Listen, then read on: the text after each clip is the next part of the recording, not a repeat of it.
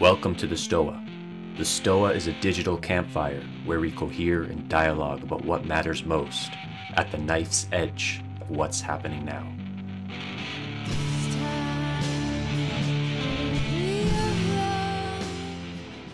let's talk more about why we're here and, and what's going on. So the COVID trolley, um, I'm going to share my, well, first I'm going to give you some explanation, then I'm going to share a presentation. I'm going to walk through the presentation, um, and I'm going to try to make this as accessible as possible. So the trolley problem is a frequent um, moral device that is brought up whenever you want to figure out if we pick this path, there's a consequence, and if we pick this path, there's a consequence. And both consequences are pretty terrible. Uh, so, which one do you want to suffer with the most, basically? Uh, this is very important today, uh, not just for um, philosophical reasons, but also because of the advent of AI. So, because of um, artificial vision, um, machine learning, data science, those things fusing together is creating scenarios where you have self-driving cars where the car has to make a split decision does it go one way and wipe out a 70 year old white elderly woman or does it go the other way and then wipe out a 17 year old black female what do you pick? You can only pick one way. You're gonna you're gonna accidentally tackle someone here uh, at high speed and that's not gonna go well. So what is the criteria you're picking for your choice? Um, i tend to think that that criteria is ultimately going to be um, risk-based economics as they're already calculated in Lloyd's of London and other players. But what's happening now is we're seeing the, the this moral trolley problem being carted out in the COVID space without formalizing it. So there's this fun little dichotomy that's forming in the memetic space where it's either, well, the government has to intervene or uh, it's it's going to kill a lot of people, but the markets have to burn. And other people will say, well, the markets have to stay alive, otherwise the people are going to starve. So in either scenario, you have a really terrible outcome.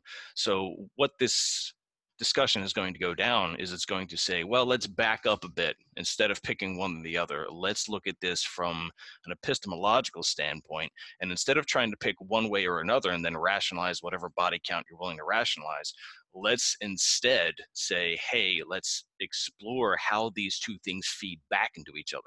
How does the, the population that's getting sick affect the economy, and how does the economy improve the people getting sick? So let's look at that feedback loop instead. And so that's that's a preference. I'm going to now turn over to the screen share and we'll go from there. And I'll go through this one step at a time. Um, and here we go. Let me know if everyone can see that. Okay, little laser, making sure everyone can see it. So this is the little meme I found floating about the internet, and I realized it's kind of funny. Um, and the the implication of the meme is that um, you're basically screwed no matter what you pick. You're more along the lines of who do you want to sacrifice first? Do you want to trash the economy? Or do you want to trash a bunch of sick people first? Um, and in either case, they're both getting trashed. So I found this meme to be uh, a proper reflection of the actual problem because of uh, the symbiotic nature. The, the, people are the economy, and the economy feeds back on people. So because of that complicated nature, what is the economy? What are, what are what is COVID even? What are, what are the people? What are what are all these actors in this play here? Um, I let's start with you know let's start with the train, which is COVID. What is it, right?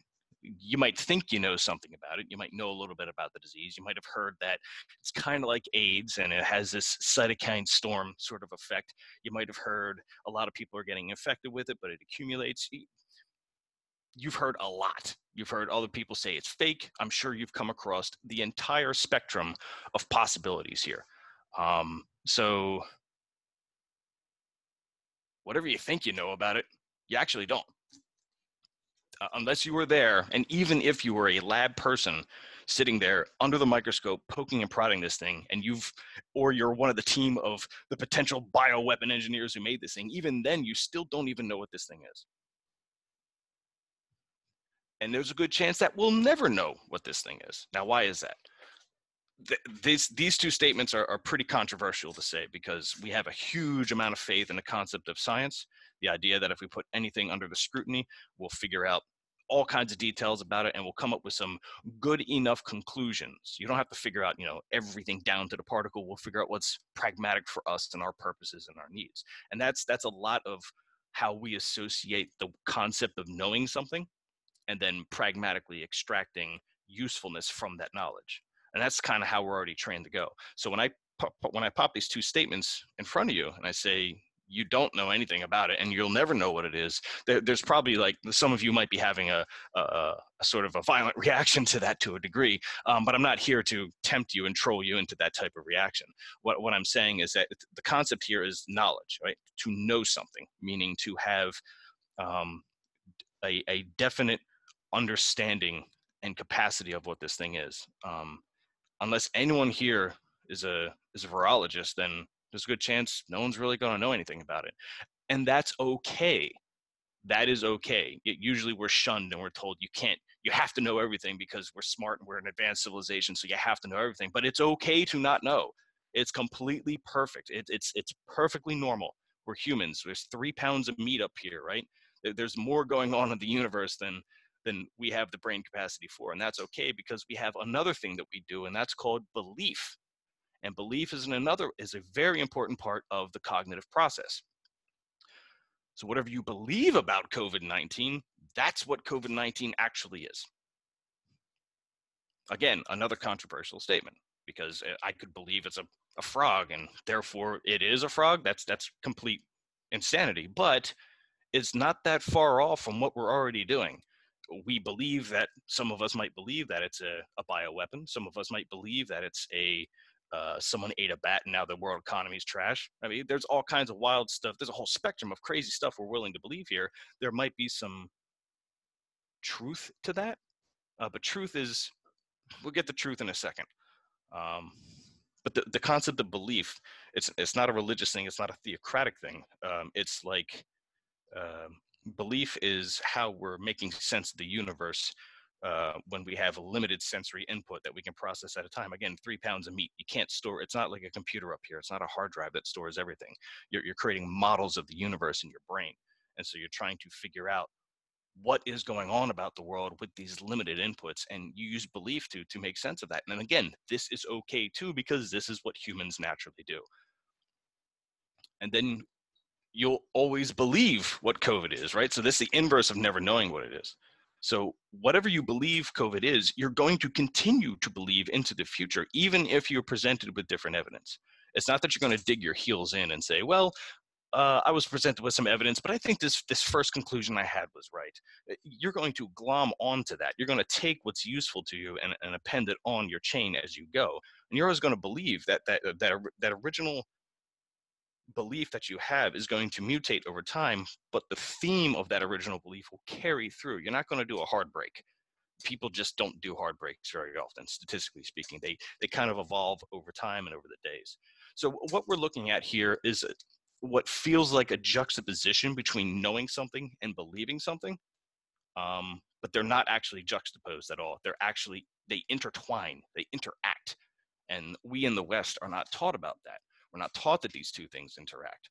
Um, we're taught that belief is superstition and knowledge is the only thing that exists. Um, if you approach with that methodology to this problem, you're going to make too many mistakes. So, how do we solve problems? Or, well, not solve, we're not here to solve anything, we're here to explore. So, how do we explore problems that we can never know? And when all the only thing we have is belief, well, it's not just COVID. It's not just COVID that has this problem. It turns out the global economy, whatever construct you have in your mind about the global economy, same exact problem. You don't know anything about it. You'll never know what the global economy is. It's too it's too huge. It's distributed. Is it Goldman Sachs? Is it some Rothschild? Is it the is it central banks? Is it a bunch of farmers? Is it a, is it a credit swap agreement between two different houses, uh, two different um, uh, banking exchanges? There's a million different parts that's going on here. You'll only ever get a tiny subset of what the global economy is. It's this, it's this massive body of activity and human action. So you'll never really know what the global economy is. Um, but again, you'll certainly have beliefs about it. And you'll always believe what it is based upon what your original beliefs are. Again, how do we explore the problems we can never know? now, as I was saying, there's the interplay between truth and belief. This is called epistemology, which is the science of knowledge, right? So um, we we take the step back instead of going down the trolley route and saying it's going to wipe out the people, but that'll save the economy, or it's going to wipe out the economy, but that'll save the people. Instead, we say, okay, there's a subset of truths about COVID 19 that exist. I don't know them, but I'm willing to accept that they exist. Then we go into beliefs about COVID 19, which I have beliefs about COVID. They might be wrong, but other people have beliefs and they might be wrong. But some of them might be right. I don't know what they are, but I'm willing to accept there's a subset of things that my brain is doing about COVID 19 right now. I'm trying to establish truths about it, and I have beliefs about it. And these two things intersect. They're not opposite, they're not enemies. This isn't a, a, a dialectic we're trying to extract from. We're, we're understanding that these two things automatically synthesize, no dialectic required. And from that synthesis, you get knowledge about COVID 19. So you get useful action by, by reconciling the beliefs with the truths. It's not enough to find truths about the COVID 19 situation. Those truths are not going to do anything for you. It's not a question of, oh, it opens the road and now all problems are solved. No, it doesn't solve all the problems because there is an intrinsic relationship between the economy and the people. By influencing one, you influence the other, which has a feedback back to what you've done. So finding a truth isn't enough. You still have to reconcile your beliefs as you try to make sense of this situation. Now, I've been talking in the abstract a lot. So I promise you we're going to get into um, more concrete examples of this kind of high minded crap that I'm spewing right now. It also turns out that there's another thing that happens when you tr- reconcile truths and beliefs. You, you get poorly justified true beliefs, which is to say, you are right about your knowledge, you have pragmatic stuff you can do about it, you just can't defend it very well. That's what that means. So you might have uh, a glimmer of understanding of what's going on, but you, you just don't know how to defend it in either a court of law or in front of a scientist or in front of a lawyer. Um, you just you just you just know something, right? And this this kind of struggle leads to two outcomes that are completely again these outcomes are completely okay they work um, the first is having knowledge about it where you can explain it, you can defend it, other people see it, they can repeat it, it's good. That leads to more traditional science routes. And then the poorly justified true beliefs is what's known as a black box. It works, you just don't know why. And the world is full of black boxes.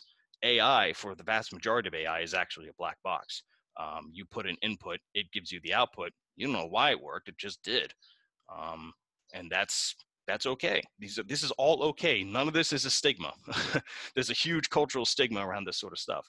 Um, so epistemology, we're going to lay out on the on the bottom what faded into view was this gradient where we have localized belief uh, going from going from left to right, defined truths, communal truths, localized truths, adjustable processes or pragmatic black boxes, defined beliefs, communal beliefs, local beliefs. So um, local beliefs are things that you and local truths are things that you have experienced communal beliefs and truths are things that many of us have experienced and defined beliefs are things and defined beliefs and defined truths are things that exist independent of both all of this leads to a pragmatic uh, pragmatic black box or an adjustable process i'm getting ahead i'm going to walk you through all this stuff i promise it's going to make sense if this is over anyone's head if i'm going too fast uh, i will i will I will make this all work, I promise. So here's some examples, finally some examples, right? Out of this high-minded crap I'm spewing. So a localized belief would be COVID-19 appears scary. That's a pretty common local belief. I, I certainly have that local belief. Um, communal beliefs is something that we all tend to agree on. Uh, we need to self-isolate. Whether we do it or not, it's a different story, but we need to. Um, that's a belief. And then the defined belief is that COVID-19 exists. It's there. It's in the world. Right? So these are beliefs. They feel like truths. They certainly feel like truths, but they're beliefs. Now, what's the distinction? Well, let me give you some examples of truths. A localized truth is that many of us do not know many people with it. That's a true statement. COVID 19 is scaring people. That is a true statement as well. it's not that it, it, appears scary it, it is doing it right? That it's definitively doing this. This is repeatedly you take a snippet of the world and you get hey this is scaring people. Okay it's scaring people. Um, defined truths would be that we can demonstrate that covid-19 has hurt the stock exchanges. Uh, 30% wipe of the market just in the past like month. It's been disaster so what do we do with these points right well excuse me one moment I believe I have to sneeze. Uh, nope, I don't have to. Okay. Therefore, there wasn't a truth of it. So um, we have our we have our beliefs and our truths, and what we're trying to do is we're trying to find either black boxes or adjustable processes. We don't know what they are right now, so we're going to walk through and explore and figure out the hell these are.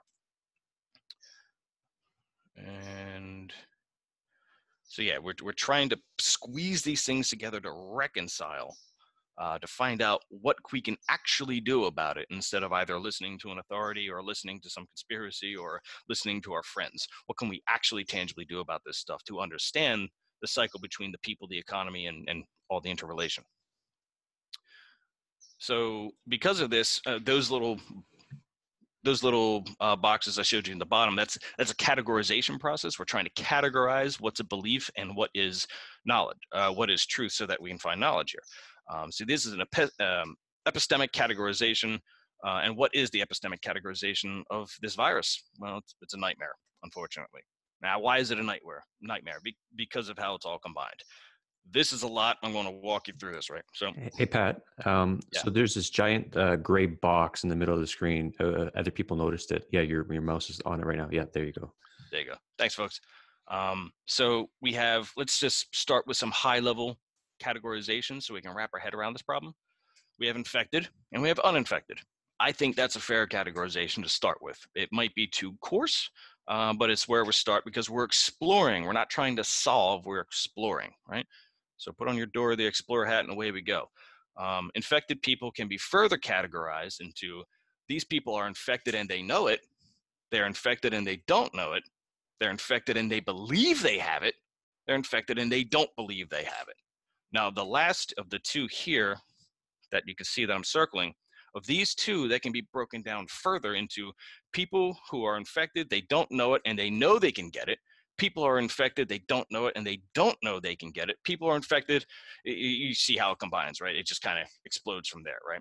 So each one of these is a category that you have to account for when you're trying to figure out what is true and what is a belief.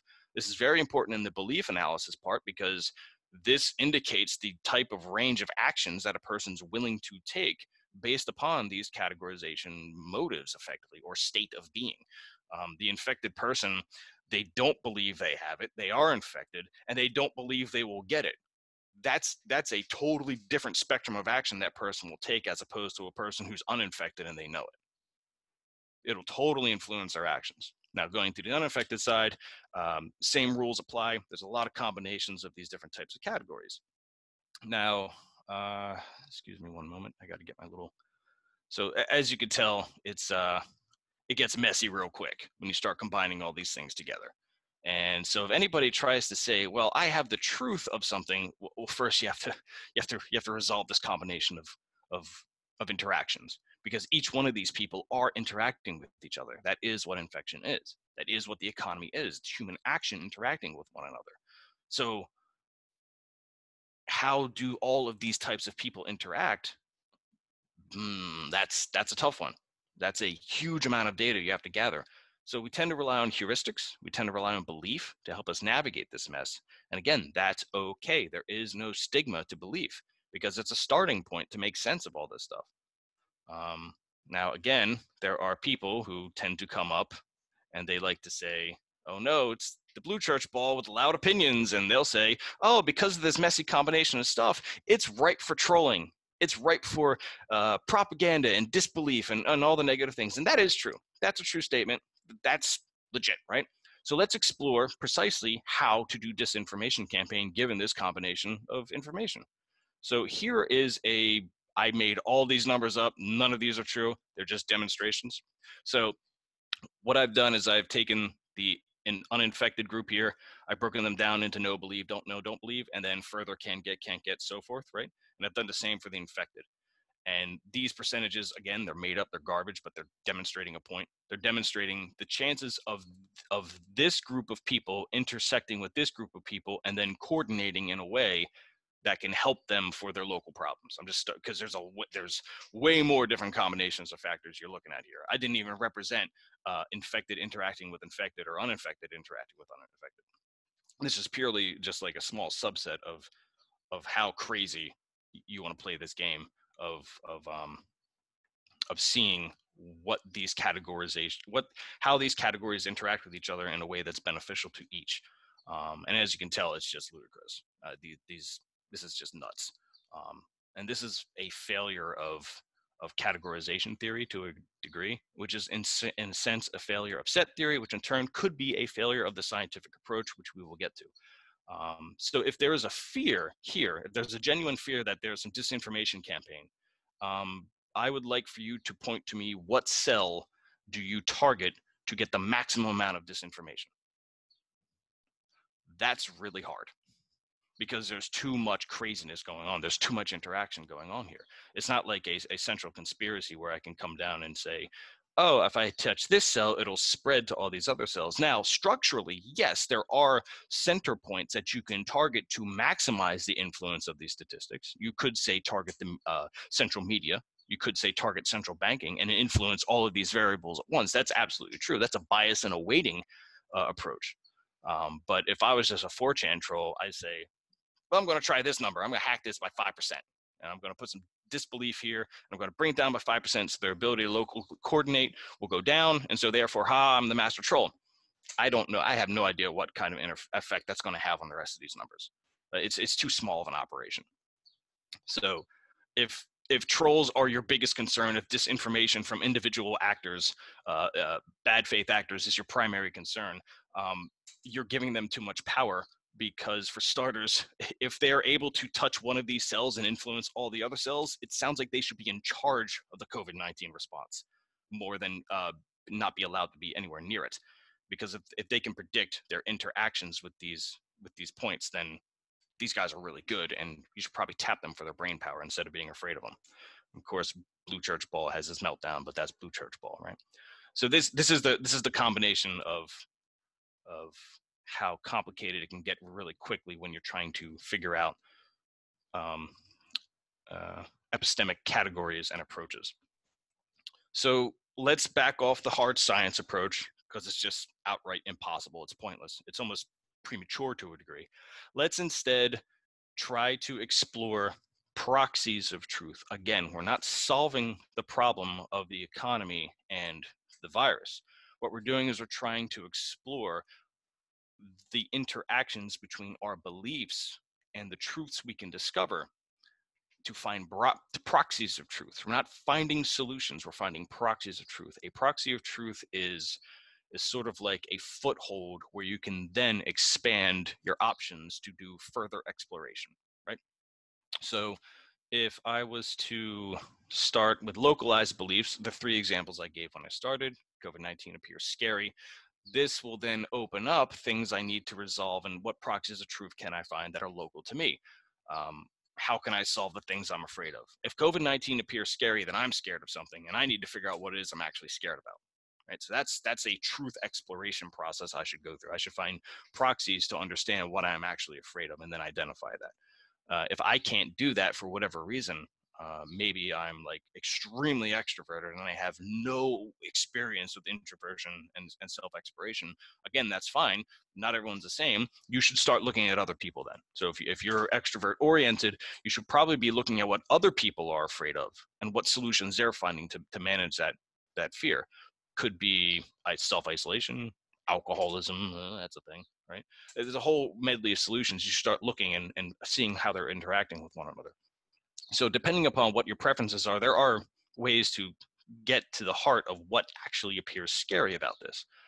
Um, when you do that, you will come to a defined truth that is defined to you. Oh, I'm sorry, uh, some stuff's happening. Um, that I have some solutions of what I'm afraid of, right? So now you have some truths to figure out this belief. You're not trying to eliminate the belief. This isn't the scientific method I'm promoting. I'm not saying eliminate the belief. I'm saying evolve the belief into these proxies of truth. And that is important because there's one more step after this. So let's move on. We need to self isolate to communal beliefs. Here's the example self isolation interferes with my routines. That's called being self honest. Maybe we have st- maybe we have stuff to do. Maybe I have to go shop or buy food. You know, this is this is a significant impact on my ability to to stay, you know, not infected while simultaneously staying alive. Um, so this is a truth about the belief. The belief is we need to self isolate. The truth is it's kind of hard. We got stuff to do. Um, and self isolation isn't even widely embraced. So there are other nations that are not engaging in the self isolation paranoia that we're doing right now. So take, uh, I think, Japan, but they're iffy on their numbers um, from what I've seen. But I think Norway was pretty aggressive about not self isolating at all. Um, and then there's other states in America that aren't engaging in self isolation. Now there's shame tactics and all these things that happen, and you know trying to re- yell at each other to you know stay indoors. Um, but for the most part, we have a we have a diaspora of self isolation uh, um, adhesion or or or usage or um, you know what I mean. Um, so okay, so now we have self isolation. We need to, but the the truths of it is that we're not really actually doing it. Um, it's it's not a solution. That's that's a defined truth. Self isolation by itself is not a solution because you have too many people engaging in whatever they think self isolation is. They have their belief of what self isolation means, and so that's informing their, proxy of truth. And it's not going to be the same for all of us. So, because of that, self isolation simply isn't a solution by itself um, it, it, because we're dealing with an infectious agent.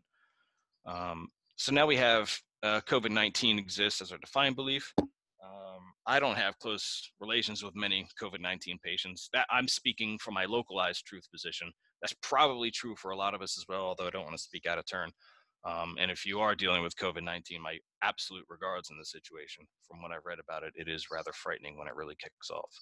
Um, but I do know communally that, uh, that there are reports of people with it. So there are certainly some people with it uh, even though I don't know anybody who who has it, or I don't have close relations with many people who have it, right? Um, so I'm left with a defined truth that some people have COVID-19 and others don't have it. Now, all this seems kind of elementary that I'm walking through, and maybe I'm giving too much emphasis on my own performance on explaining it. Um, but this is all pretty basic conclusions we may have sort of reached on our own. But again, this is a transitory step. There is a final step after this. So I'll give you some more. We're going to click through. Um, I'm certainly not showing any COVID 19 symptoms. I'm coughing from time to time, but that's about it. Um, so I don't, so if I'm not showing symptoms, but let's look at a truth, I don't have access to reliable testing. Man, that's a localized truth. I can't just go to the doctor and be like, yo, do I got COVID? And be like, you know, yes, no. It's just not an option. I don't have that. Um, nations are not providing the same testing coverage when we expand to the communal. Uh, they're not providing the same coverage at all. Uh, they don't have enough tests. Uh, some nations are militant about it, other nations are not. Um, we're left with the defined truth that there isn't widespread access to COVID 19 testing. Uh, then the, the, illustrious, hilarious bat soup problem, um, where communally some guy ate a bat soup and then the, uh, the stock market lost 30%. Uh, I've never eaten a bat, so that's a localized truth. I am 100% confident that I've never eaten a bat. Um, although someone may have snuck it into my canned food once. You never know. um, but I do know that bats migrate. They are a migratory species. Uh, some of them do fly as great distances as birds do. That's a known thing. Um, so what this does now we're getting to an interesting proxy of truth. The first three that I, the first four kind of throwaway. They're just like demonstrating what I'm talking about here. Now we're because we're engaging in this proxy of truth process. Now we've come up with something interesting. We've come up with an interesting proxy. The bat migration should have an influence on COVID, because I can't spell, COVID 19 spread. It should. Because if these things are terrible carriers, then, well, it, bat migrations and COVID infections should be simultaneous, should be one to one, right? So now we found a proxy of truth that we can stand on and say, now, wait a minute, this is missing from my belief system. I did not have this previously ah, okay, Interesting. So we're taking our beliefs, we're exploring them not to cancel the belief we're not Western scientific method. We're saying, I this was not part of my belief system before. Now I have to reconcile this. Interesting. Okay. So then COVID 19 started in China. That's a very common, I think that's a defined belief at this point. Um, I don't know much about Chinese public health policies, me personally maybe there's a Chinese public health policy expert in the audience right now, but I'm certainly not that person. So that's my localized truth. Communal truth is that other pandemics did start in China. Right? They have SARS and all types of animal human viruses that jumped. Um, why is this here? Please move this window away. Whatever. Um, uh, other pandemics have started in China. There's a long history of that. Um, and so China does have ways, uh, so from these two truths, we can then derive that China has ways to assess where to apply public health policies. So they are, they do have metrics. They are using, uh, if we assume China has X number of resources um, and Y number of people. So how do we apply, how do we distribute, how do, I'm sorry, not we, how does China distribute the X resources to the Y people and then it's not a utilitarian distribution. It's not like they're going for the widest amount of people they can go for. They're going for specific people. They're giving resources to the specific people that they particularly want to save, and we can identify as best we can, at least. Um, uh, we can we can attempt to identify who it is they're willing to save and who it is they're willing to sacrifice. So this gives us useful information about their public health policy, which can then inform how other nations might be either following it or what they're doing differently. Uh, and then a couple more, and, and, then we'll move on to the final piece. Uh, hospitals are a place that can help. Uh, I've seen hospitals request more supplies. So I, I, this is my local truth because I've, I'm actually dealing with some of the acquisition of supplies for some of these hospitals. Um, uh, and the communal truth is that well, the the media is, is, showing Italian hospitals as New York hospitals. There's that one little flub they did a couple days ago that made the rounds, and that's uh, what are you doing, guys? Right? Uh, on one hand, they might be doing that to convey the point that this is scary and you should do the self isolating like we're saying it, or they could be just a bunch of jerk offs being dicks with cameras, uh, or they could be both simultaneously. It's not necessarily mutually exclusive. Um, hospitals, what we're able, what we're able, at least from my local truth perspective, um, I know that hospitals are requesting more supplies. I know that there are media reports showing the wrong hospitals on purpose. I know that in addition to the media on social media, uh, people are sharing videos and attributing them to hospitals where those videos did not come from. So it's obvious that these hospitals do not have any control over what is said about them on social media and even what is said about them on legacy media. Uh, what this means to me is that hospitals are not prepared to handle this. They're just simply not. Um, the require the, the supplies that they're getting uh, and the media the lack of media control on their front means that any type of scare can panic people into a hospital unnecessarily which says to me that they're not prepared for it. So this this type of um, this type of fear can influence the resource acquisition from the hospitals. Uh, one hospital might get more supplies that they shouldn't. The other one will get less supplies. Um, and this player right here is not helping things at all. Um, so this belief is that hospitals can help, but because of the problem here, they might not be places that can help, and that's that's unfortunate because that's a really deeply held local belief for many many people. Um, there will be a cure eventually. Yeah, yeah, that's that's a hopeful belief. I mean, I don't I don't want to be the the the black pill negative Nancy on this one, but um, let's look at a localized truth. We saw President Trump say uh, hydroxychloroquine works, and then of course an Arizona, couple decided to take the fish cleaner, which is not hydroxychloroquine, but whatever. Um, I've seen President Trump say that. I don't know if it works, but I've seen him say that. Um, there are at least six distinct COVID 19 vaccine trials initiatives going on right now from different countries. Um, so as a result, we have a anti-malarial chemical solution, and we have an attenuated back, uh, an attenuated viral um, vaccine solution. Now, the challenge here is that you can only take one or the other from a market share perspective. If I'm manufacturing a million pills of, of hydro, uh, hydroxychloroquine, and I'm putting in the tremendous uh, money for vaccine trials, FDA approvals, everything else.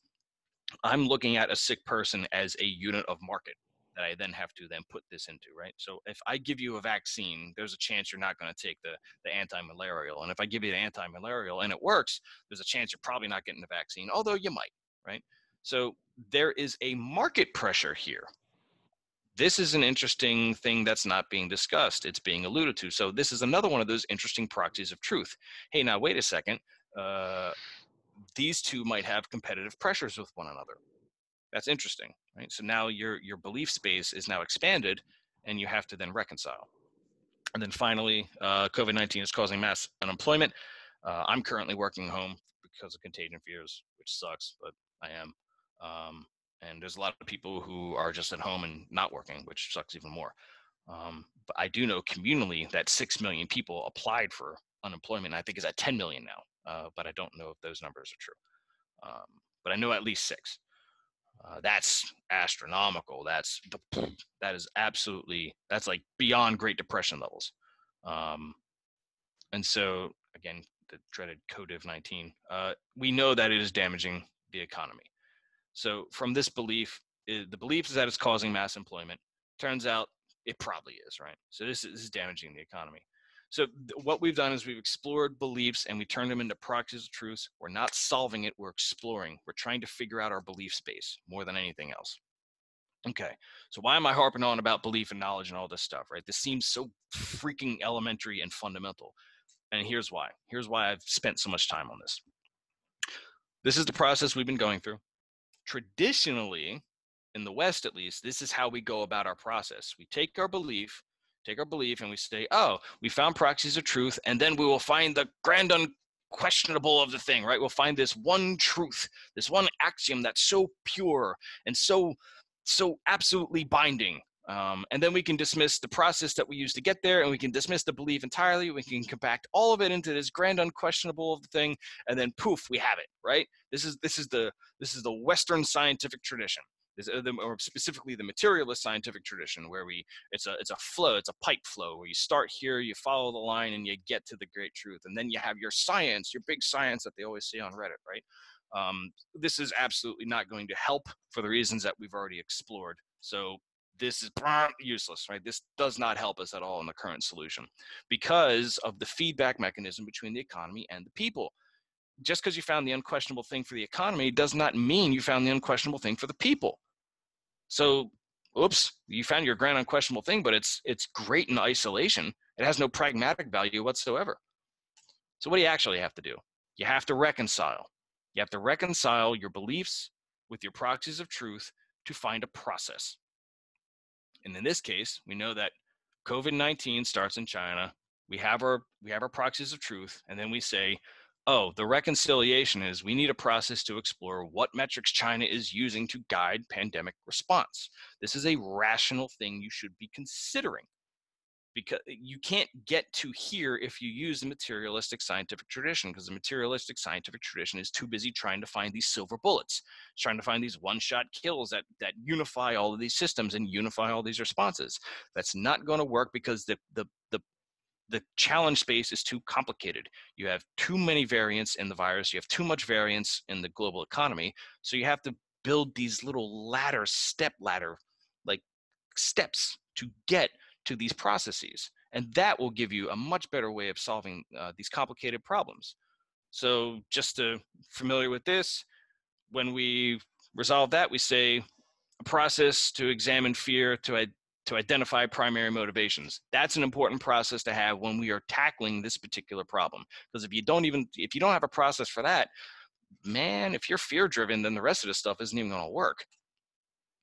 Process to evaluate motives of nodes and interconnected networks. Again, self isolation. We now know that these people interact, their nodes in the network, and, and what are their actual motives? How effective will the self isolation actually be?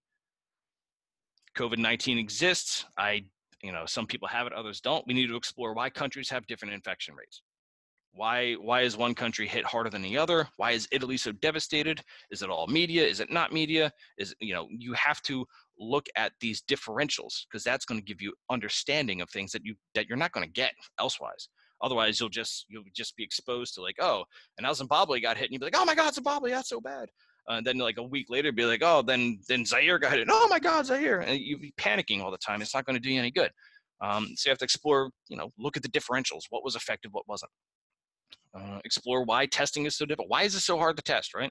This will force you to look into the actual uh, biomechanics of the virus, which is admittedly complicated because it's virology and it always is.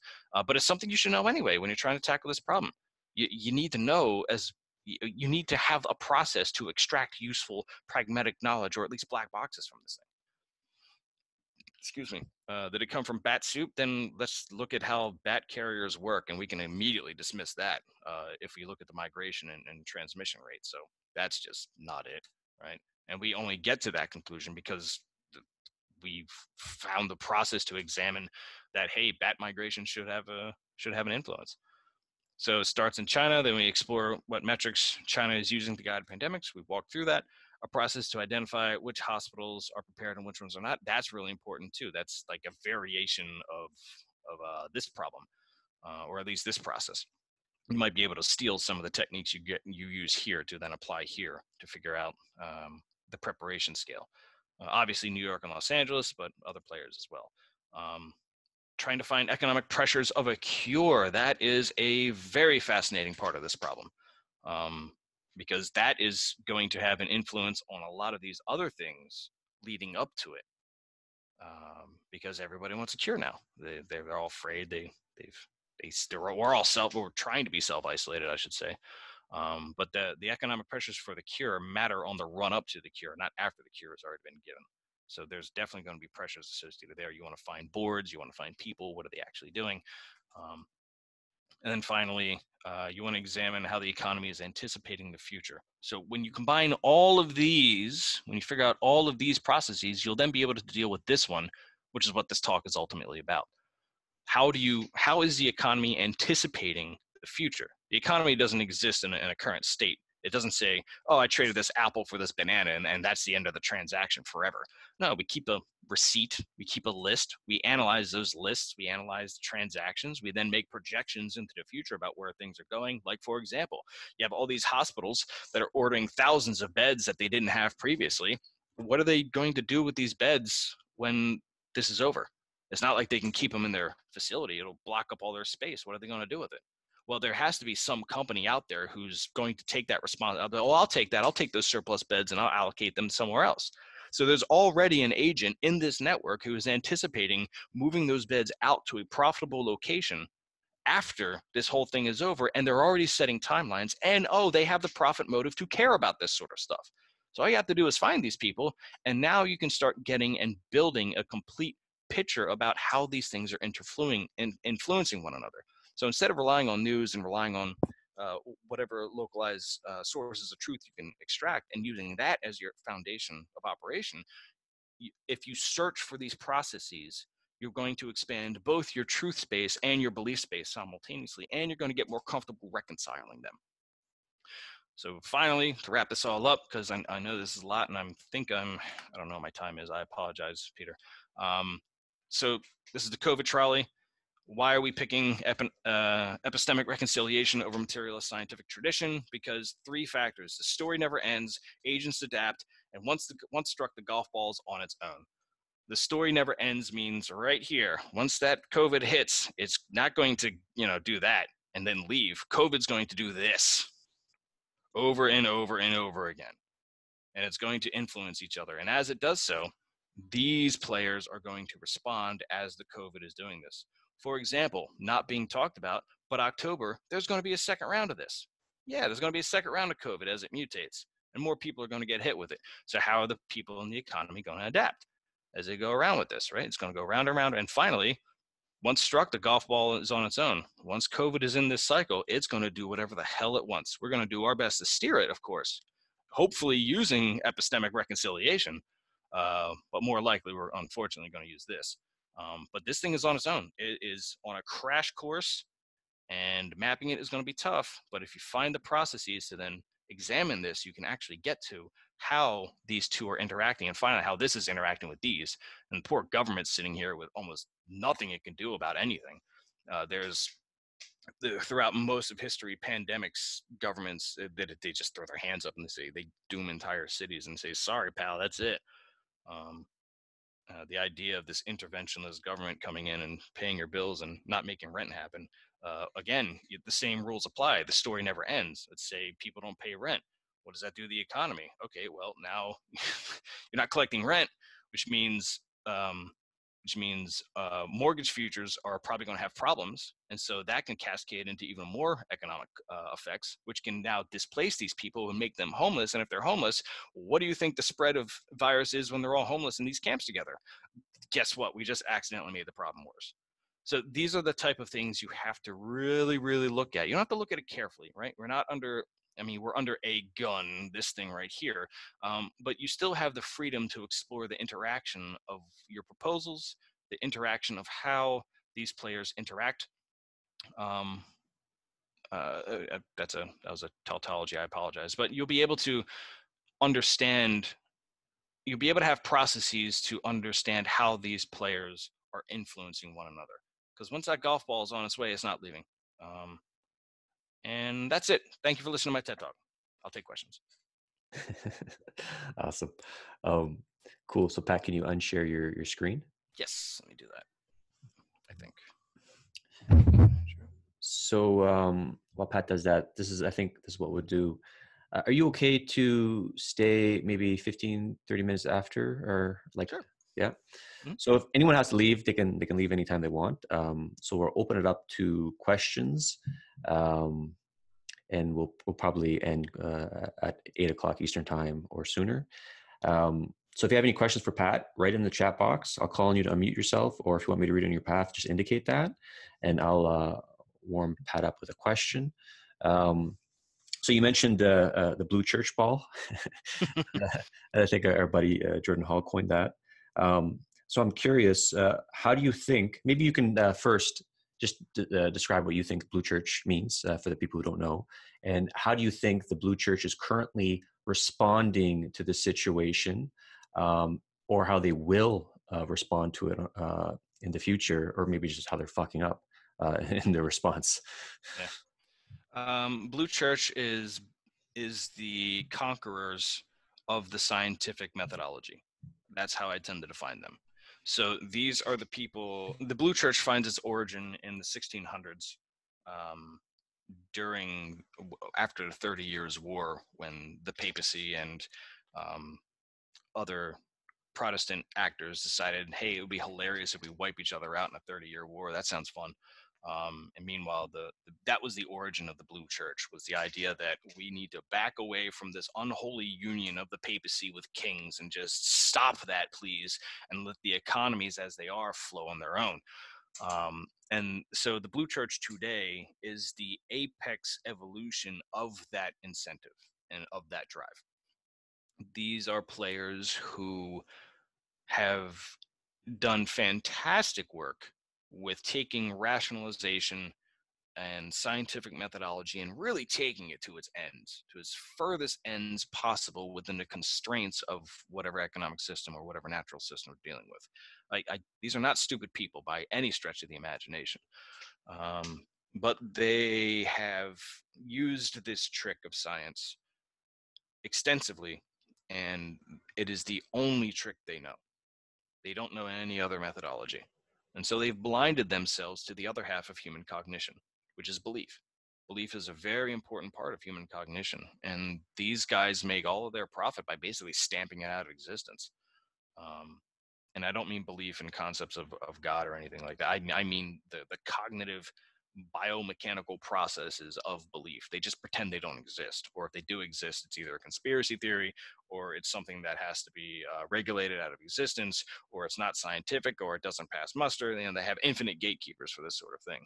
Um, but that's what power does. Power is gatekeeping, and they have been successful. Uh, from the 1600s on. They made the right gamble. They put in the work. They put in the body count. They put in the blood. So they were able to build this empire of science very, very well.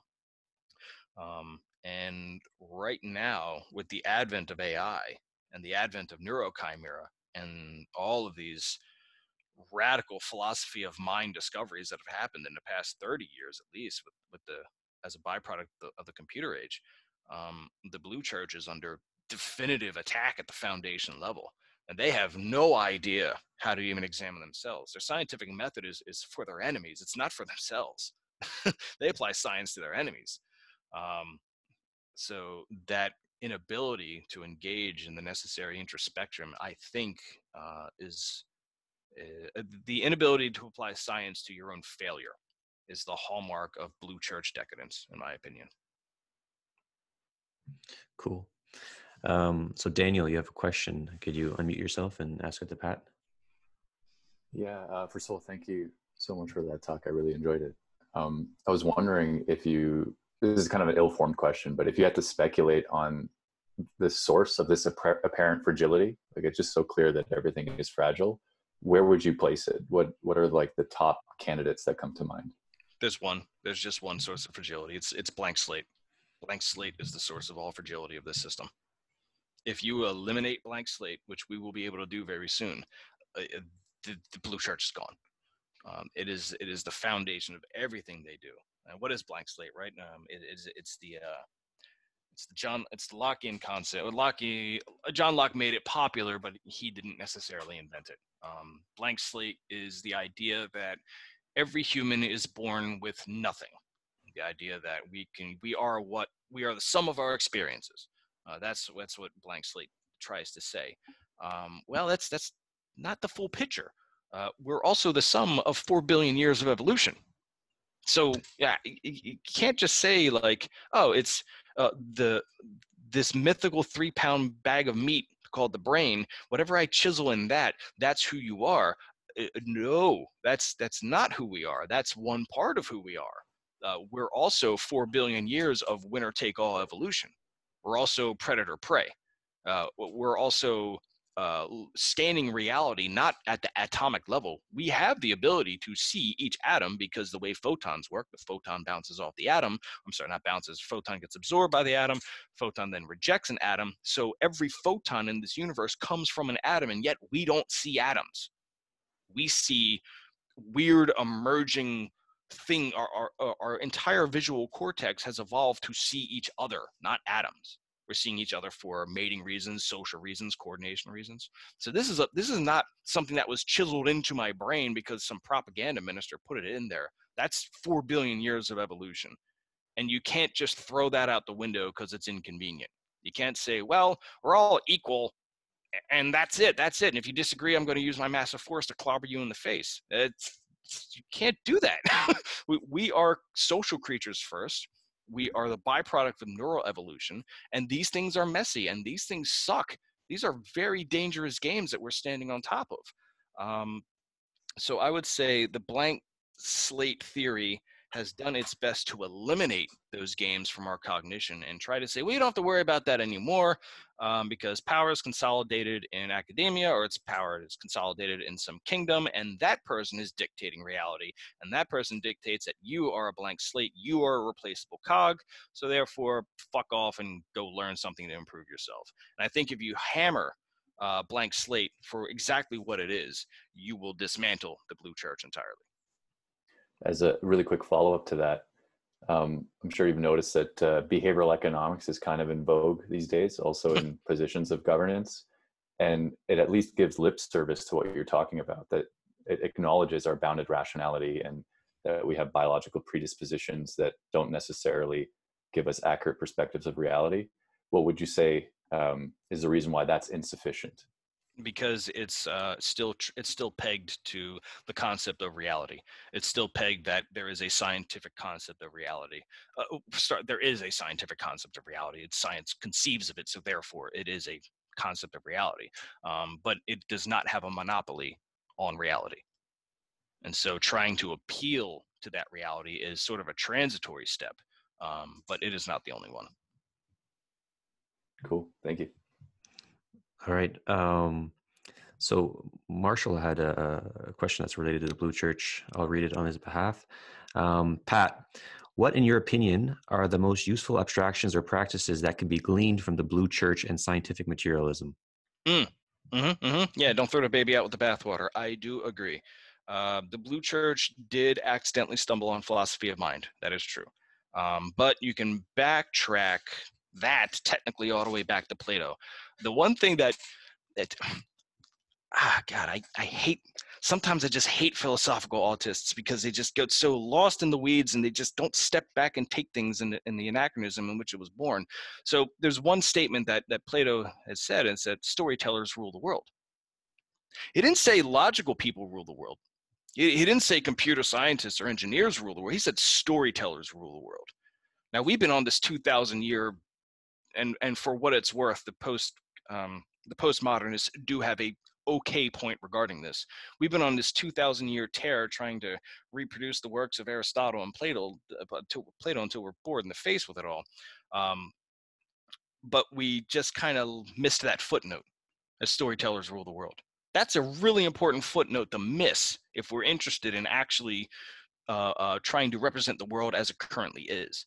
So I think it's worthwhile to backtrack and reevaluate Plato not as as some type of philosopher who is trying to create this very weird version of society according to whatever efficiencies he deemed a higher priority. Um, he came up. Uh, I mean, gee, the work he put into play. I mean, we're eh, almost everything's a footnote of Plato if you really get down to it. Um, understanding the power of stories means giving credence to belief and if we're not willing to give credence to belief, um, as the Blue Church deems that we shouldn't ever do, uh, then that's the part of the bathwater you need to throw out. I don't. I don't think the patient is inoperable. I think there are. You can cherry pick parts that are good and parts that are bad. Um, there are certain discussions to be had about what parts are decent. Like for example, um, I'm a programmer by trade, 20 years doing it, way too long. Uh, commercial internet web technologies primarily. Uh, I've I've watched the internet become what it's become. It's a disaster. This is not the internet that we tried to build. Um, this is the what corporate internet would look like if, if, they had a shot at it. But I suspect in, in a couple years, the only social media platform that'll be left is LinkedIn, or at least everything will look like LinkedIn. A very boring, sterile, everybody's showing their perfect face social credit system. Um, that's not the internet I wanted. That's not the internet I built. I, I, I wanted weirdo shit posting all over the place. That's what I want. Uh, because I like the full spectrum of, of human belief. I'm not afraid of human belief. I like it as it is, even if it believes in the weird stuff. I think if Blue Church gets its head out of its ass long enough to say, hey, uh, we don't need dominance of the narrative, it's okay to let people express themselves, and great. Um, but if they're not willing to do that, unfortunately, now we have to talk the power game, which means we may accidentally end up taking away from the blue church what's actually good for the rest of us, just as part of the power negotiation. And that sucks. But that's a reality I'm fully prepared for. I might be alone or in the in the minority on that. So. So uh, uh, there's another question that's uh, I'm going to piggyback off it, and this is from Joe. I'm going to read on his behalf. Um, what are the most promising analytical processes you've been seeing developed outside of the institutions by the ecosystem of collective sense makers? Mm, IARPA comes to mind, technically part of the institution, but they are fascinating. Uh, the super forecaster research has been unbelievable. Um, they are this is a black box right so this is this is where science starts to have problems in, in, in these black box spaces there are people who can predict the future. I'm going to use some dumb parlance right now, and I'll, I'll, explain what that means. But there are people that can predict the future repeatably. It is repeatably proven that people can predict some parts of the future. We don't have any idea how it's actually done, but it is repeatably provable. And to demonstrate the repeatability of it, when you put people in a group, they predict the future better than people who operate alone. This is repeatably provable over and over and over again. Now, how the hell does that even comport to scientific methodology? What are you going to do? You're going to cut up the brain and be like, well, this neuron was doing this and this. That's, that's not what's going on. The, these bringing more minds together allows them to sense make collectively, um, but not synchronistically. So not sense making in, in the sense where they're eliminating all beliefs and they're coming up like brain ants where everyone thinks the same and so they can amplify their position they're holding on to their individuality and they're collectively navigating each other's individuality and that in turn is improving their ability to predict the future. This the, a variance of this is called knockout training in AI, which I was describing yesterday to you, Peter. Um, where if I give you a book and I rip out a page and I rip out every other page, so I rip out all the even well, it's a book, so you have like you know what I mean. Just, I'm just, a PDF. Like I give you a PDF file and I knock out all the uh, the uh, the even pages, right? So have pages one, three, uh, five, and if I can count, right?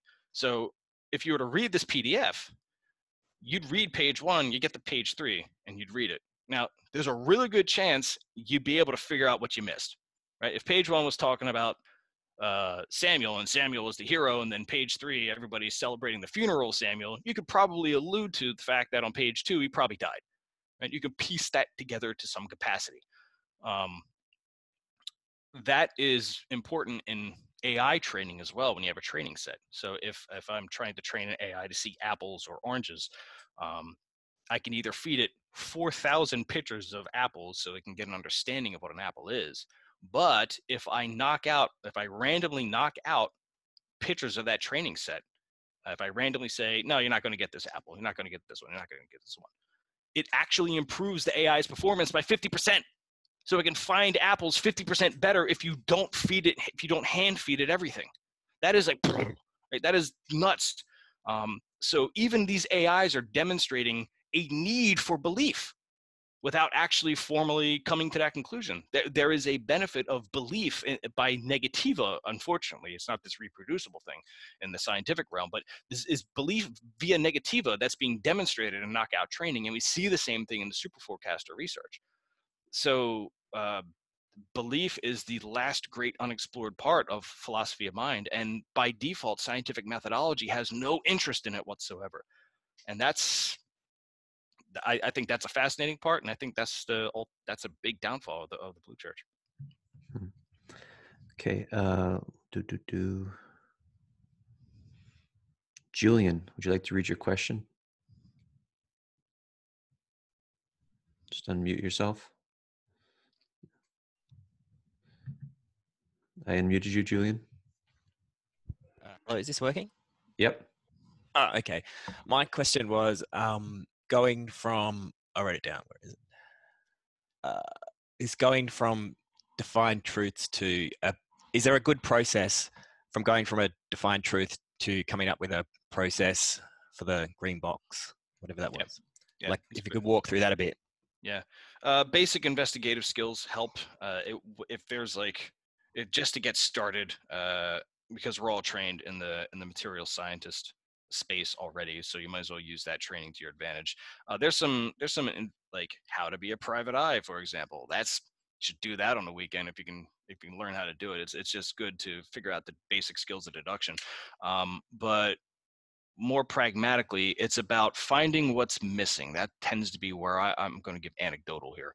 Uh, it tends to be where i start. Uh, I see what's there, and then I say, now what's missing from this? And how do you figure out what's missing? Okay, well, uh, give an example, right? So if I was to walk in, if say an alien ship landed, right? An alien ship just landed right in my backyard, and I have no technology out of this world, right? Like I can't figure this stuff out. There's alien blips all over the place. So somehow I get in this ship because there's a hole in the side, and I walk in, and I see dead aliens, and I'm looking around. I'm like, okay, how do I make sense of this, right? Okay, one for starters, um, they crashed. All right. So what's missing? What's missing is why did they crash? Why did they not account for gravity? Did they not account for um, any type of electromagnetism we have been emitting? What? Let's look at uh, any type of damages that they're experiencing. What's the color of the blood? Uh, what's what's the? Are they wearing clothes for starters? Do does their civilization have clothes? Um, let's look at how their ergonomics are arranged on their on their control panels.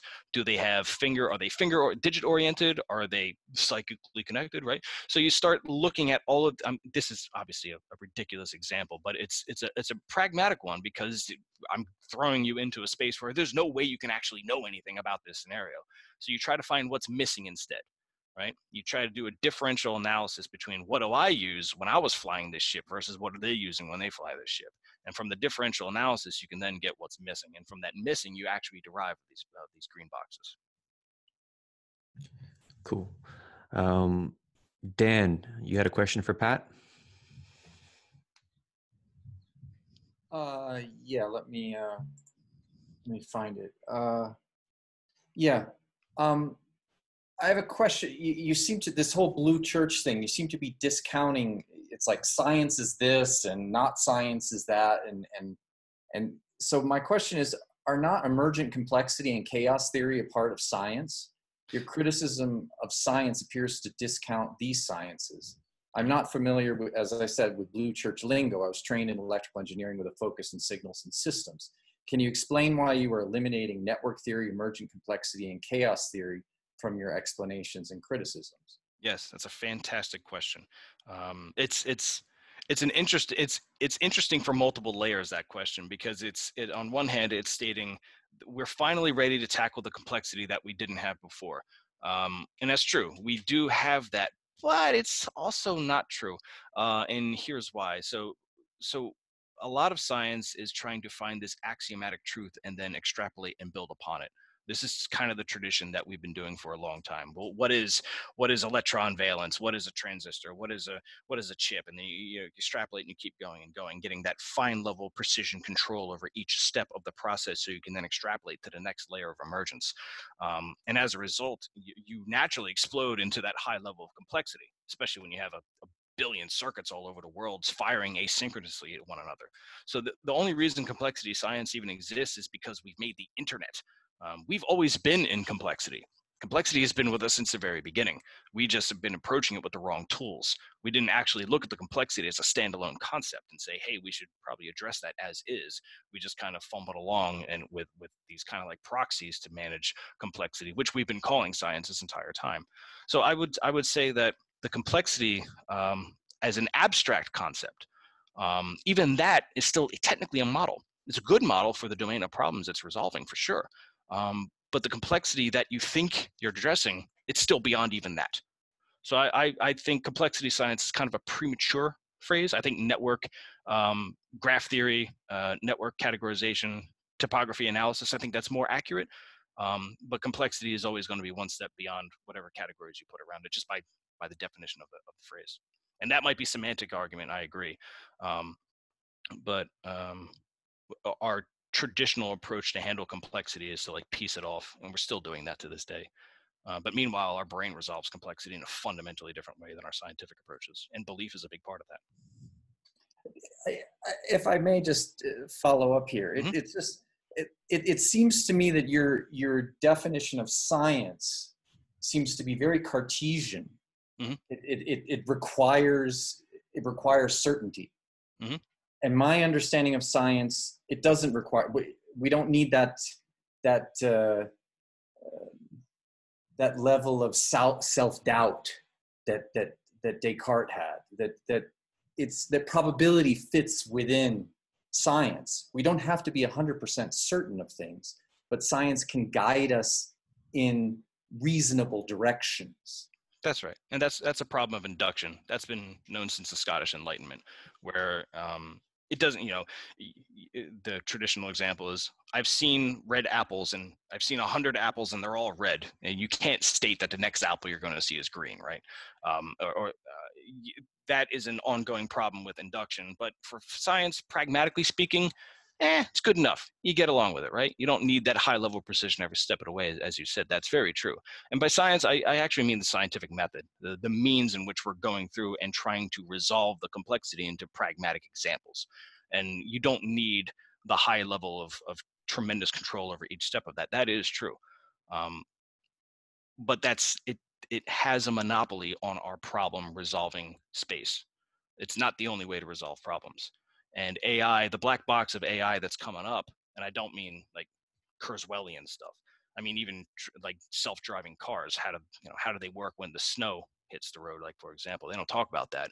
Traditionally, when you have a uh, self-driving car, has six sensors. You're dealing with um, lidar and optics and I think a couple other ones, um, and that's good when you're in California where it's not raining, there's no weather conditions, perfect road all the time go to Minnesota or somewhere that's snowing, hit a fresh plow of snow, car is driving. What do you do now? Well, the car now ships over to 26 totally different sensors. And one of those sensors is pinging Google Maps to then find, oh, are there landmarks I can orient myself to? And then from that orientation, where is the curve in the road so I can actually stay in the road even though I can't actually see it? Now, admittedly, there's some improvements recently in LiDAR that can penetrate the snow and tell the difference between the snow and the road. Yes, but before that, uh, it was then kicking off to an explosion of sensory methodologies to then come up with that probabilistic good enough solution to then figure out where the road is. Now, the reason why that's important is because that's actually not how our brain works data science is trapped in this weird death spiral where it needs more and more information to resolve infinitely minute problems. It needs it needs bigger data sets and it needs more training and it needs more human beings to solve these more complicated problems and get that extra level of precision that's needed for either an insurance settlement or or any type of high level uh, maybe even a, a astrophysical research but that's not how our brains actually work our brains don't just go through mitosis and grow more neurons whenever it comes across a complicated problem. We'd run ourselves out of resources if we did something so silly. What, we, what the brain is actually doing instead, the brain is taking the limited resources it has and it's doing its best it can with it.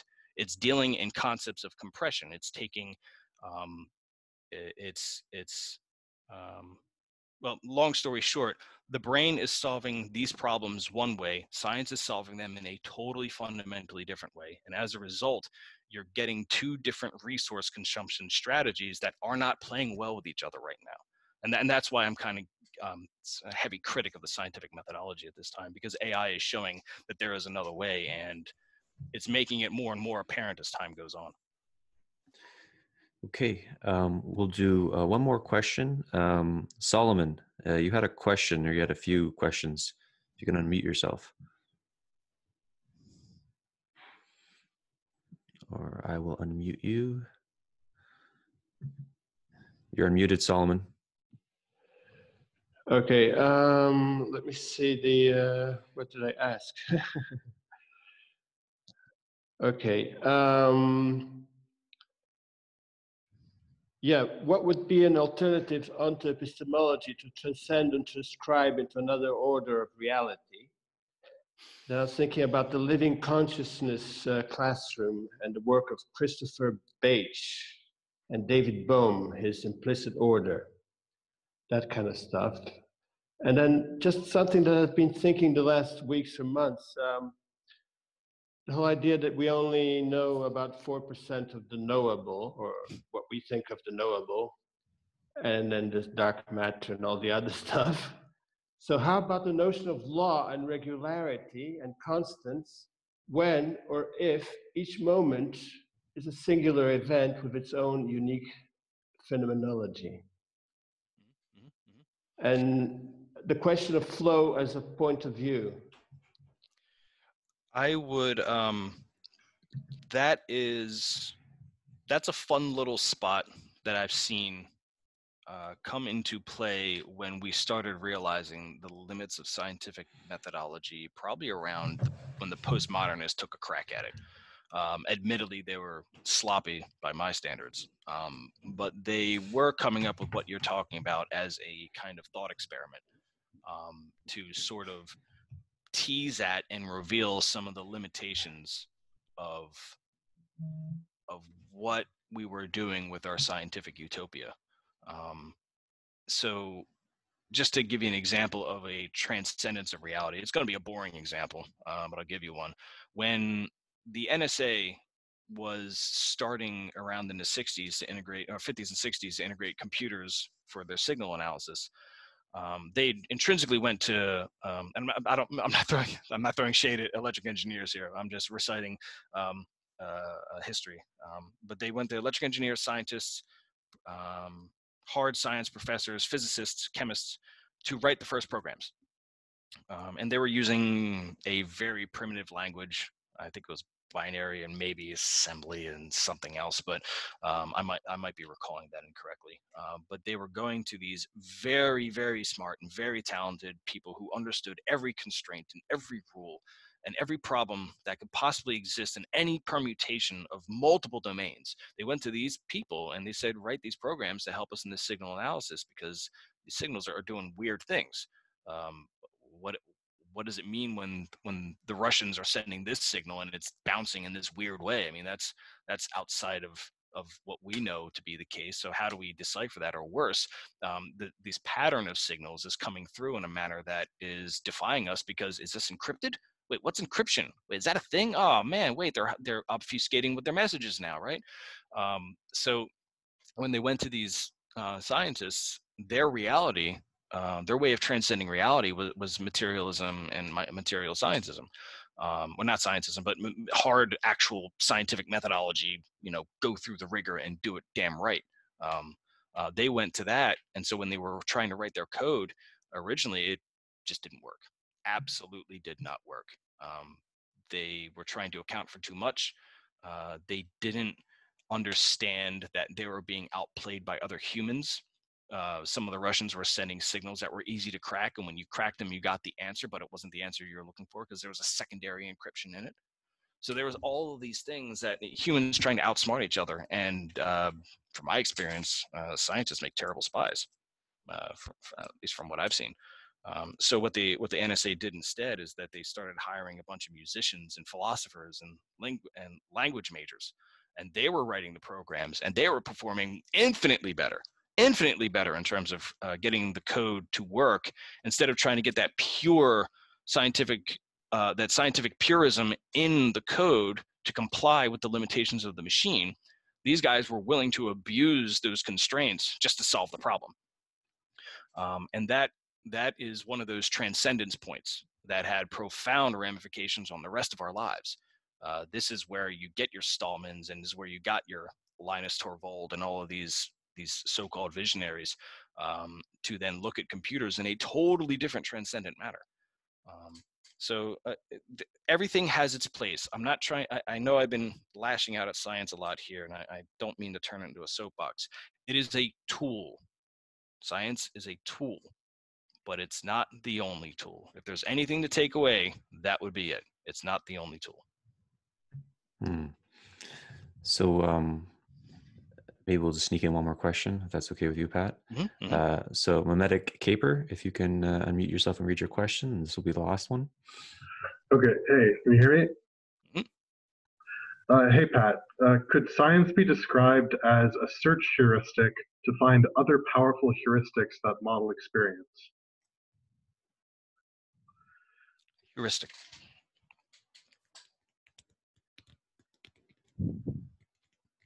Like the idea, I guess, is sort of that science is a tool that allows you to find other powerful heuristic tools. Like you could you could say that uh, you know Newtonian physics that's a powerful tool to model reality, right? And it was discovered through scientific methodology. Traditionally speaking, now I, I'm trying to to answer that question. Um, I think it's rather apparent where my bias lies. What I'm trying to do is I'm trying to envision our current technologically saturated world as if science didn't exist. Right. And, and I'm going to this place so I can answer your question. So let's assume uh, my daughter's 21, for example. Uh, one day she's going to have a daughter. I can tell you that when my grandparents are around, cars were the high tech um, cars and planes are the high tech experience for that generation. So you have a lot of mechanics in that era. Um, then a generation after that, computers were getting started. So you had a lot of really solid engineers of electric engineers in like the, the 60s and 80s, rock stars for sure. And then with the software phase, now my generation, we come in and we understand the software really well. My daughter's generation does not know a damn thing about any of those three technological platforms. She knows how to swipe her finger on a phone um, and she knows how to use that phone to get the maximum amount of social attention. Right? So so those are the problem domains that she's been exposed to and her grandchild after her child after that uh, i don't even think they'll know computers even exist given the rate we're going. So when when i say when you say heuristic the ability to um, kind of make sense of reality if i if i'm interpreting you correctly the, the kind of the rule of thumb that states okay we're going to take the tools we have the problems we have and we're going to solve it yeah that, that's effectively what we've been doing uh, well before you know even atomic theory well before anything that's that's what we've been doing. I think it's important to step back and realize uh, ask yourself a question am i framing this to be scientifically compliant am i trying to explore this in a way that's being scientifically compliant and if the answer is yes great there's nothing wrong with that it has to be done you, you can't just throw that tool out entirely you still need to use it um, so what you want to say in addition to that you want to say now let's assume I wasn't trained in science. Let's assume I wasn't trained in any of this stuff. I don't know anything. So effectively, everything is a, a crazy phenomenon, and I have no explanation of it. Right? Um, that's our original base point for heuristics. It's it's not as if I'm trying to frame the heuristic to then hopefully find investment money for my new app or my new process or my new discovery on on quantum physics. Um, that's a nice little bolt on we've been doing uh, since probably the British. Um, but before that we've been trying to solve these complicated problems in the in the in the ways we've had even even without that scientific either crutch or that scientific focus or that scientific discipline or rigor um, and it is a messier process. It's a it's a it's a much messier process. Now does that when you sum all that together does that result in the scientific method? I don't think so. I think the scientific method is unique. Um, I think it's a unique discovery. Uh, I don't think if given infinite monkeys uh, in a room, you can heuristically come up with the scientific method. I think that is, I think the scientific method is a result of tremendous abuse from a, the Holy Roman Emperorship and the and the Papal Church. I think almost all of scientific methodology is a reaction against that tremendously tremendous shit show of, of European history. Um, and there's a reason that you have a lot of the core thinkers, the, the primary huge scientific factors uh, and, and major players of that time, they were all anti-papal. They saw what the 30 year war was. It was their Holocaust before the Holocaust. It, they were, it wasn't a war with like soldiers marching in like like squares and politely shooting each other. It was dragging your neighbors out of their house and nailing their kids to a tree. it was horrible. Um, and when you go through that for 30 years, if you identify the source of that, you're going to hate that source for the rest of your life and the rest of your and your grandchildren's lives uh, you're going to pass that tradition on to say, please don't do that again. Like literally, that was the never again. That was like the first never again moment for Europe. Most of American history comes from like the, the founding fathers, founding fathers lived through that war. So it's it to to say that scientific methodology is like this heuristic or this sum of heuristics. You have to take it in the time in which it was formed. It was a form of rebellion too. It was a way to rebel against you know papal authority and that's baked into the tradition as well. Science doesn't stand alone of the human experience. It is the scientific methodology is born of the human experience not just like heuristics. It's it's born of the political pressures of its time as well. So i think that's that's an important thing to factor in to, to hopefully answer your question.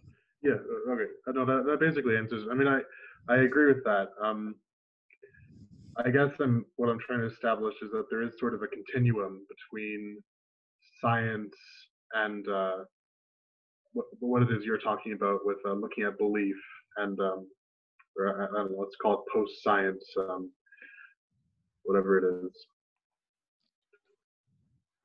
Uh, post. I, I don't I don't know if there's anything post science. I think science is well, science.